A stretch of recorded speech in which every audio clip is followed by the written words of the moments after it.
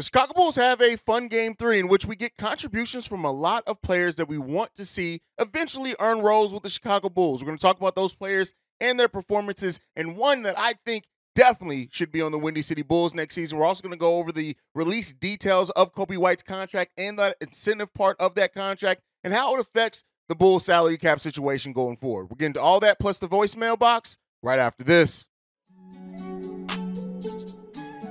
You are now tuned in to Chicago Bulls Central, your number one place for all Chicago Bulls news and content.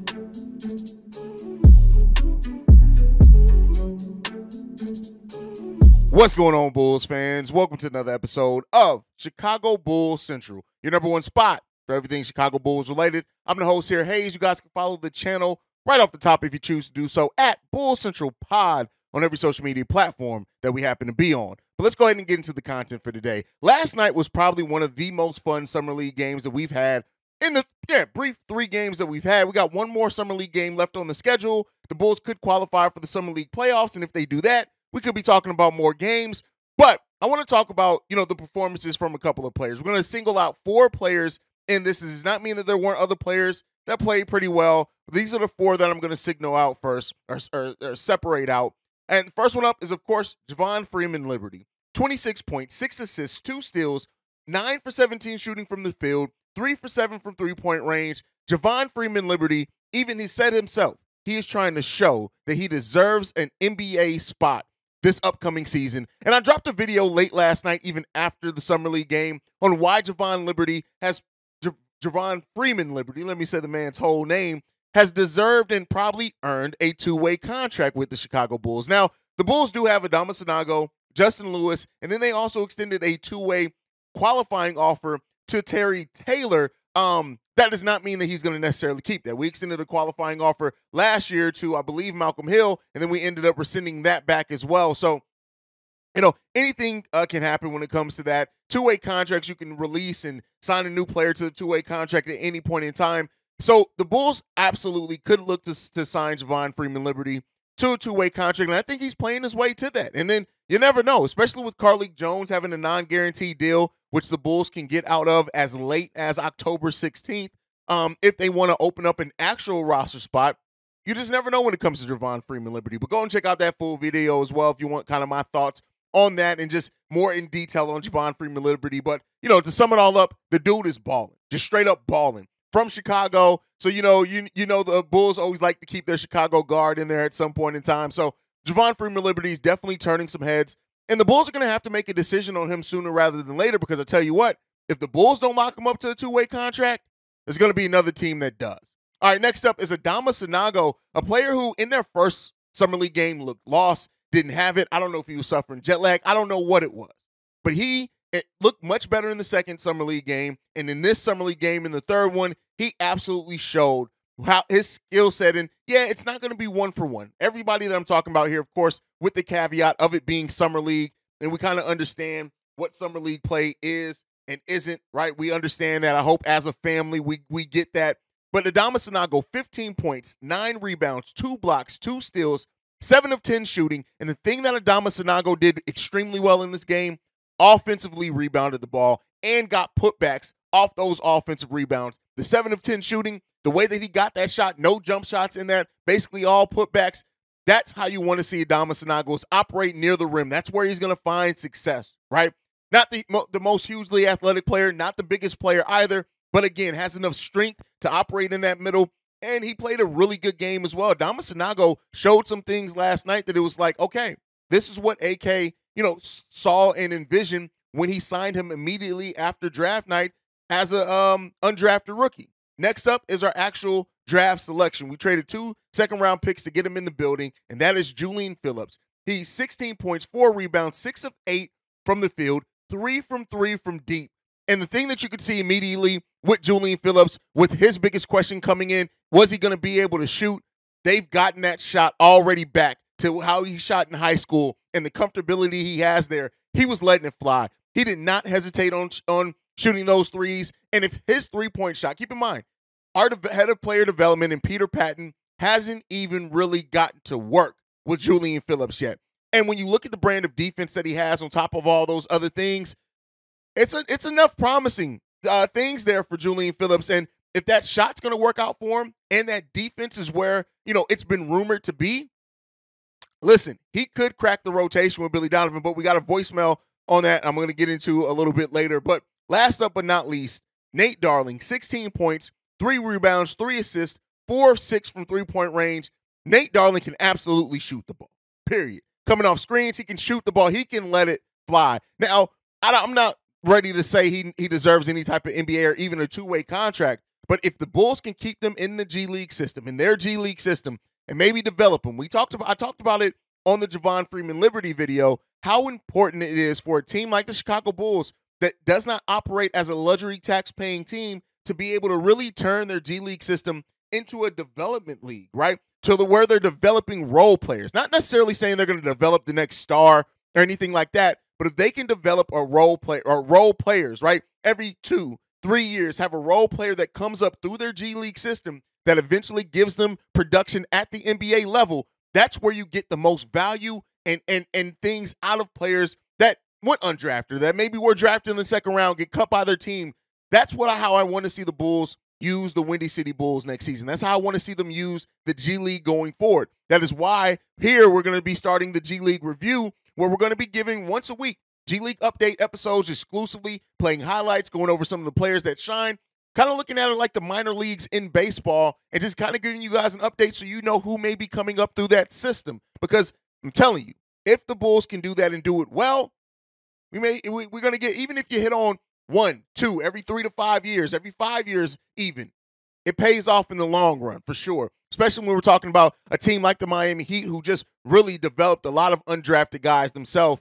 That's how the future of the NBA is going to be. I talked about on yesterday's episode how now with the new punitive luxury tax, there's going to be a highlight on development. And I want the Bulls to be ahead of it. They already know how to operate beneath the luxury tax. They've done that since its inception. But now you need to find a way to develop on top of that, and you can get the most quality and value out of some of these guys. So overall, here's the thing: AK might have cooked this draft draft night more than we see now.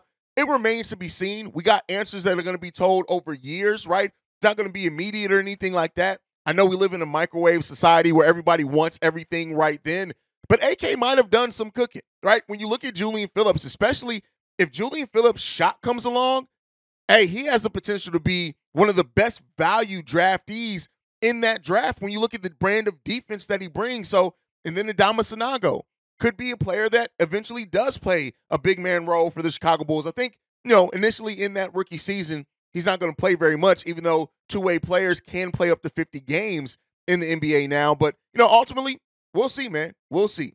But moving on from that, yesterday we did get more details on Coby White's contract, which was initially reported $33 million deal uh, with a $7 million in bonuses, right? In, in incentives. Well, it comes out that the deal is more like $36 million guaranteed uh, with a with possible incentives of $1.33 million every single year on that, which pushes it up to $39 million. So this puts this changes a little bit with the Bulls uh, luxury tax. I still think that it's still a very value contract for Coby White. When you look at it, it averages out right about to the mid level exception. But keep in mind, just like with everything else in the NBA, the mid level exception rises every single year, basically. So he's going to be a little bit below. This first year, he's coming in at a, little over $11 million as a cap hit for the Chicago Bulls. So he's he's below that that uh that mid level exception, and he's going to continue to be around that hover around that mid level exception type value. And at a three year deal for a player that is still going to be 26, 27 years old when this contract is over with, I still think that it represents a hell of a value for the Chicago Bulls. And it gives Coby White reasons to keep working, keep improving his game to get those extra $3 million in bonuses. And I know some people may look at it and say, what's $3 million for a uh, for a basketball player? But still, I listen, I want all my money possible. I'm sure Coby White wants all his money possible. So there's enough to look at that and and you know it's incentivized Coby, and that's why it's called incentives, right? To continue working, continue rounding out his game, and the Bulls are going to be the ones that eventually reap the benefits of that. I do think so. Still a very value contract does change things a little bit for the Chicago Bulls. So right now, uh, we sit at we we had about we had almost ten million dollars in um below the luxury tax. Right now we're at eight point five four million below the luxury tax. So what does that change for the Bulls? They still can use the remaining part of their mid-level exception, which they have $6 million left of that mid-level exception to go out and get talent. Now, we know free agent market is really drying up. It seems like players like PJ Washington uh, and, and Ayo may just take their qualifying offers and roll with it that way. But at least leaves the Bulls that spending power. We still have our biannual exception as well. The disabled player exception still has not been approved, which is weird enough, right? We are now 10 days removed from the Bulls filing, officially filing for that disabled player exception, and we haven't heard a peep back yet. It could come at any day.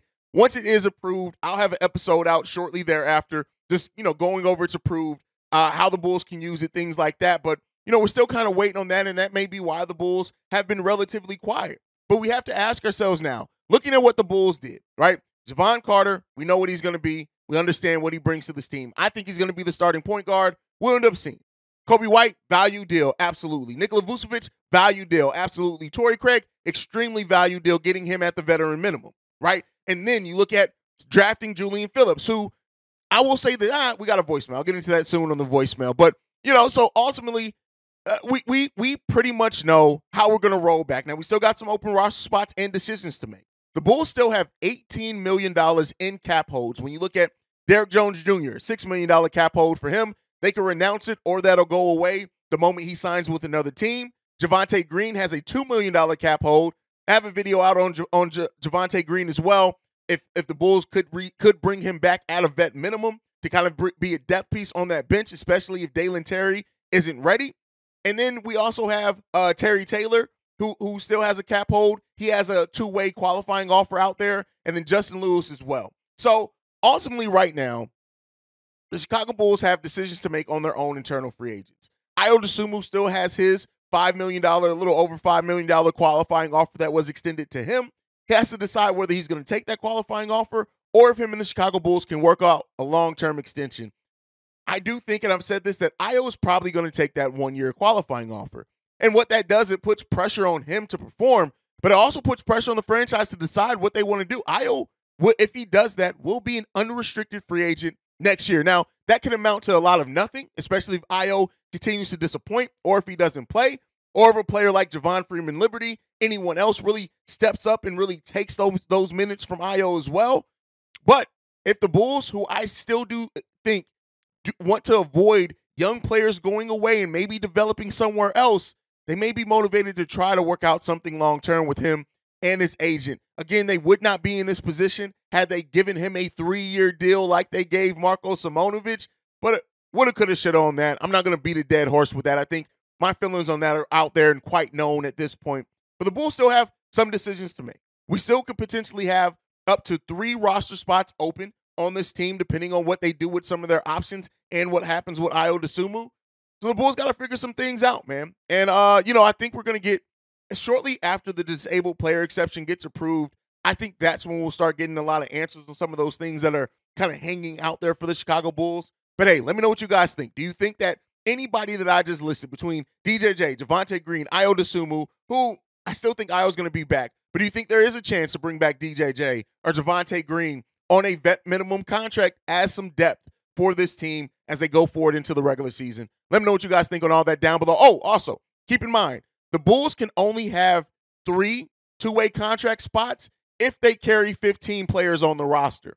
If they leave a roster spot open and carry only 14 players, they don't get that third two way contract spot. So that's something to look out for as well as we're talking about Javon uh, Freeman Liberty potentially getting a two way contract offer out there. So let's go ahead and get into that. Uh, and get into the voicemail that we have. This one's from Quentin. What's up, Haize? This is Quentin from Let's Talk Bulls. I just wanted to leave a voicemail and talk about Julian Phillips. Um, been watching him in the summer league. I know he started out kind of okay his first game, but in the second game, I think he's showing that he is a really good piece for this team. Um, he's a good energy player. He tries on the offensive rebound side. He can shoot a little bit. I definitely think he's going to be a good addition to this team. And when you look at defense, especially if he is defense ready for this team, I can just imagine him and P. Will in a small ball lineup. Um, I definitely think we're going to be a really good defensive team this year, and I can't wait to see it. Let me know your thoughts. Have a good night. First up, shout out to Quentin from Let's Talk Bulls, a big supporter here, and he brings up Julian Phillips. And here's what I'll say. I've, I've said this before, and I said this over on Locked on Bulls. I'll bring it over here as well. I know that the common mindset from a lot of Bulls fans when they hear about young players is initially go into the knee jerk, oh, Bill, Billy Bubblegum Donovan ain't going to play, right? But we have had four rookies come through here so far. Two have played early, two have not. Patrick Williams, Ayo Dosunmu played minutes and heavy parts of the rotation in their rookie years. Yes, there were circumstances there, but their defense was one of the things that got them on the court. Dalen Terry, while we do expect and think for him to have really good defensive potential, that shot hasn't come along too well for him in the summer league so far. But he did, not I think part of his development plan was to go through the G League. And then we have Marko Simonovic, who maybe Marko just wasn't that good. Who knows? But those are, are the examples that we have. But when you look at Julian Phillips, the fact that he is a legitimate four that has legitimate size, can probably play small ball five as well, which Billy Donovan does like. If that defense is real and legit for Julian Phillips, I do think he can carve himself out a role on this team. Now, I'm not saying a big role, I'm not even saying a consistent role, but I do think that he can and has a chance to be used some, right?